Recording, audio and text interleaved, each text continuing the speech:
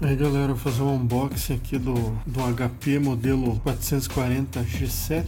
É mesmo? É?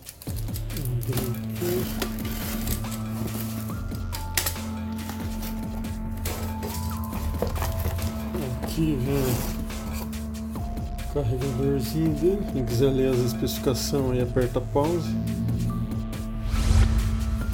Aqui vem um outro cabo vai na tomada, os carregadores. Mais nada na caixa.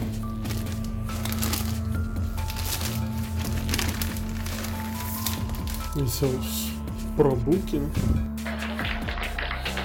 Entrada para cadeado, USB 3.1 né? e ele tem o símbolo de energia ali também. Aqui o normal para SD, na frente não tem nada. Aqui entra entra o ar para sair por trás aqui, ó.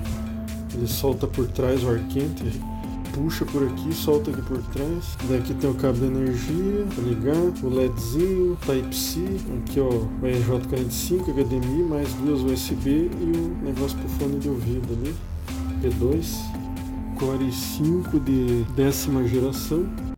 Que bruxaria é essa? Aqui onde sai o som, né, os alto-falantes dele. A webcam dele tem essa, vem essa tampinha por padrão agora. Vamos ligar ele para ver como é que ele é aí, né, galera?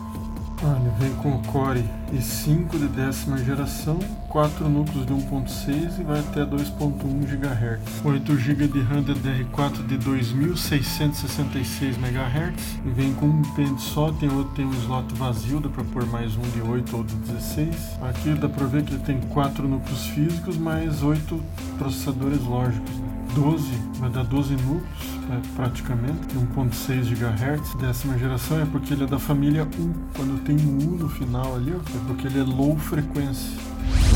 Vamos ver mais pra frente outras coisas aqui. Ah, o SSD, ó. Ele já vem de fábrica com SSD 224 GB. Esse outro disco é o pendrive que eu coloquei aqui, né?